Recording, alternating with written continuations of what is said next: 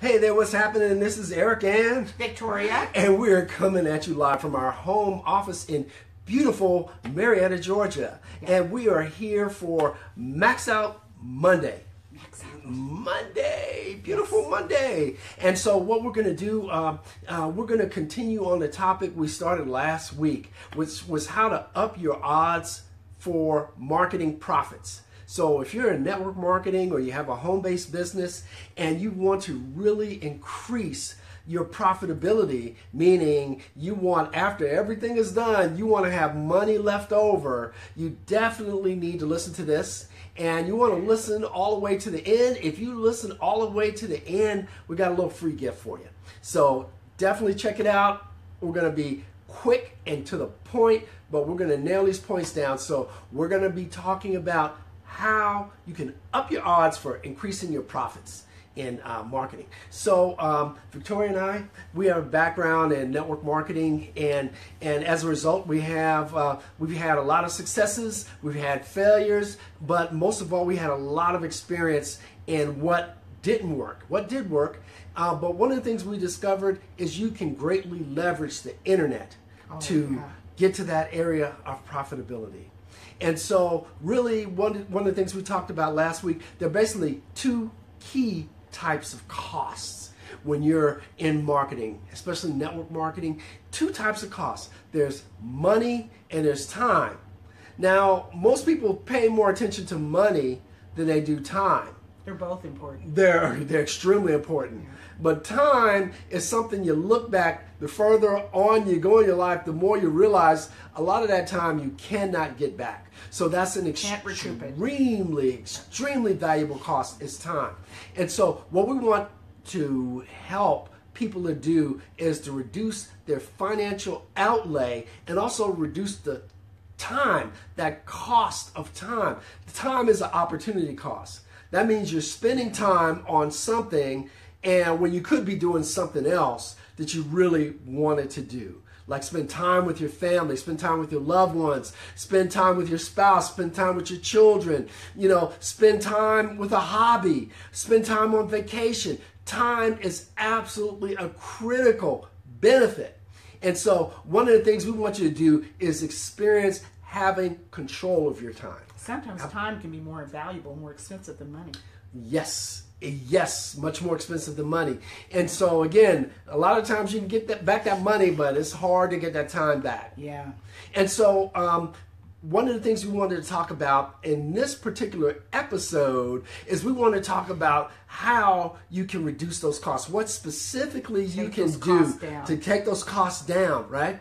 And so, by the way, if you're tuning in, if this is your first time, please let us know. We want to know who you are out there. If you have any questions, just give us a shout out. We would definitely get right back to you. And we'd love to know. Um, any any comments that you have, uh, any information that might be more helpful to you, because we have a passion to help, especially network marketers, sure make their lives a little bit, let's say, a lot better. Yeah. We don't want people to go through what we went through. we went through we went through some really, really hard did. times because we did everything our upline told us to do. Oh, how high do you want us to jump? Okay, that's hey, that was it and it worked for us initially. Uh, we made some good money initially. We got some huge bonus checks. Yeah, we did. We were up there on stage with the top leaders. Crushed it in some contests. We were really, really excited. Yeah. But the other thing we discovered was this was supposed to be our ship to financial and time freedom. And what we found out was that it was a leaky boat because we were bringing a lot of people in and cycling a lot of people out. And so we'd have to replace those people. And boy, let me tell you, that is not fun. It is absolutely a headache, right? And so one of the things we yeah. want to focus on is what specifically can you do to reduce that element of time. Plug that, that, hole in that, that boat. Plug up, plug up that hole. And so, really, um, again, we're going to specialize on um, the internet.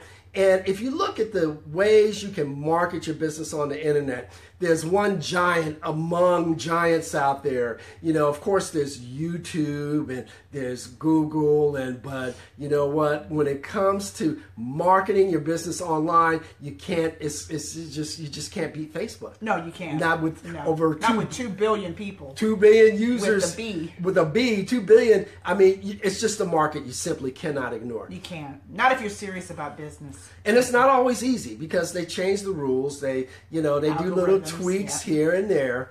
Um, and so recently they made a change to the Facebook algorithm, which is driving a lot of marketers absolutely crazy. Bonkers. Yeah. And so they changed how how information is disseminated in the news feed uh, for various reasons. You know, the whole Russian scandal that impacted them, and then you had uh, uh, health professionals saying people were spending too much time scrolling down that news feed, and they were saying, you know what, it's not very valuable for people to just look at all of these ads and marketing information. So they wanted to kind of tone that down, and they wanted to focus on people communicating with other people that they know. And so that was one of the key changes that they made. Yeah. Now, but but but the thing is, how do you market in that type of environment? Well, if you're marketing correctly, it really shouldn't affect you that much. Shouldn't affect it at all. We didn't miss a beat. We've still continued moving on. you still continue moving on. But if you're marketing the wrong way, and let me give you an example. Some marketers out there, when they heard about that announcement, that announcement's going on everywhere, everywhere. You know, Facebook lost about uh, thirty billion dollars in what? I mean, I mean, uh, uh, yeah, yeah. Well, it's it, you know, it's cra- kind of crazy, but you know, in, in those things, markets go up and down, so you know, it's going to fluctuate. So, Yeah. but it, at any rate, the point is, the point is, you know, you you've got to adjust in a way that really makes sense, and a lot of people adjusted emotionally. Right, and so what they did was when they heard, okay, well, uh, you know, they understand that they're making changes to the news feed and they want people to talk to people. And what they did was they started pu- pushing all of their advertising into their profile page. And that is a big no no, guys. Absolutely a big no no. You know what? Uh, Facebook and Facebook's guidelines, it says that you are not supposed to market or promote your products on your profile page. Profile is just strictly for socialization. It's it's for socializing. I don't take it totally serious. It's just for fun. It's, It's, fun. it's for fun, you Fun, know. fun. And you know what? It's great to show your vacations. You can, you know, uh, It's fun. you can create curiosity. Absolutely. On your, you know, on your profile page, you can, you know, show when you're going on your beautiful vacation and you're hanging out on the beach. You, you know, you can say, "Hey, we're having a great time. We're enjoying our free time. Guess how we do it?" You know, something very simple, but if you're serious and you have a business, you don't want to be blasting your company's name out there. No, you don't want to be amateur. You don't want to be blasting your brand or talking about uh, talking about products. You know, you don't want to be putting before and after pictures on your profile Amateur. page. And see, a lot of people, Amateur. a lot of people actually get away with that, but it's temporary. Oh, honey, they're on a mercy mission. You know- eventually Facebook will find out. But if you're serious about having Mm-hmm. a business, you're serious about promoting and building business, you've got to look and act like a business. You've got to have a fan page. You can't even do ads unless you've got a fan page. They won't let you do them on the profile. So if you're serious about being a business at all, whether it's traditional or network marketing, you got to have a fan page. Yeah. Yeah. You got a lot of lot of people think they can get away with it, but Facebook, uh, they're not the type of company to you know just kind of tap you on the shoulder and say, hey, you know what you're doing is against the rules. Ignorance will not exempt you from They will penalty. shut down your account, Yeah, and once they shut down your account, it's almost impossible to get it back up. But it's you know some people have done it, but you know the thing is, why go through all of that trouble? Let's go ahead and Do it do it correctly the first time, right? And so you want to, you know, stay away from the uh, profile page when it comes to advertising. But what we want to talk about is the ecosystem and the advertising ecosystem. I love that word, ecosystem, Ecosystem. because it's something that's organic, it's something that's growing, and it's something that has a lot of synergy involved. It's, it's you know things working together to, for the good, right? Yeah, and so when we talk about we talk about uh, uh, uh, uh, uh, uh, uh, ecosystem of trust because per- customers purchase for people or companies that they know, like, and trust. And that's something that you have to build over time. So, in this new environment on Facebook, what you're having to do is develop a, a, an environment of trust and develop a following. And so, there are certain components you need to build in order to have a successful ecosystem. One of those things, as we were just discussing, you cannot market or advertise from your profile page. You really need to have a Facebook fan page. You've got to have That's that right. fan page.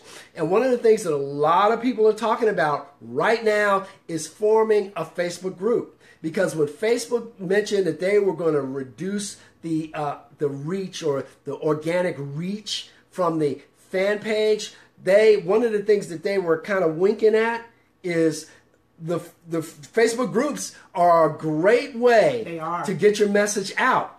But you can't advertise on the group, but you can tie your group to your fan page. So that's one of the things All connects together. when you're looking at the components, you got your fan page, you got your Facebook group. Another thing is, you know, you're going to have a lead magnet. Now, I'm just going to say real quickly, a lead magnet is like a gift. And God, by the way, guys, stick until the end. I'll show you how you can get your free gift.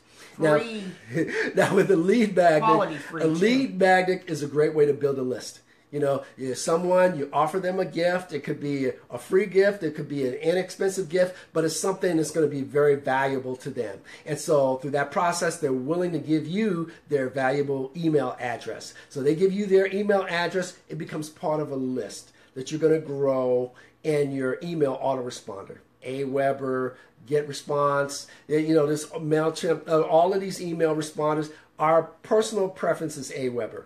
So you've got an email autoresponder, you're building a list. You're building a list. And a list is something that you own. That is yours. That belongs to you. It's yours. Nobody nobody's gonna it from nobody's gonna take that away from you.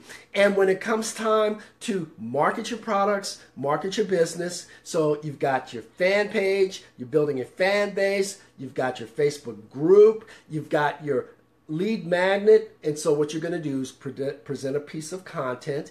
It may be uh, uh, an article it may be a facebook post uh, but what you're going to let people know is that they can have an opportunity to get a free gift. You know if they click on a link they can get a free gift and when they get that free gift in order to get that gift they're going to provide their email address which is going to help you to build your list right? And then what you're going to do is you're going to have a webinar and this is a little bit advanced understood. It takes time to get to where you want to go. But what we're doing is we're giving you an overview of what the ecosystem. you gotta start somewhere. You got to. We're we're building a system. We're building Yeah. a city. We're building. worth it. We're building an ecosystem. That's right? right. And so and so with that um, that webinar is going to be your vehicle for selling that product. So let's take a look at the different components. You have your fan page where you're page. building your fan base right? And that's connected to your Facebook group. These are people who are going to be following you on a regular basis. You're going to be providing valuable content to them so that they know, like, and trust you, right? And then you're going to provide, when you provide content, you're going to give people an opportunity to take advantage of your lead magnet, which is a free offer. They take advantage of that free offer. They provide you their email address, which goes into your autoresponder. So when you're ready to do your webinar, you've got a list of people that you can invite to that webinar That's and right. introduce that product. How simple is that, guys? That's the ecosystem. And so definitely catch us for Wednesday, Wealthy Wise Wednesdays. We're going to break it down even further. We wanted to just give you guys a broad brush overview tonight, but we're going to go. Deeper. And so with that, you have anything else to add, Victoria? Nothing other than knowledge is information, wisdom is action. All right. So enjoy your Monday. If it's not going well for you, let's make it a great Monday. Eric and Victoria are saying, make it a great one.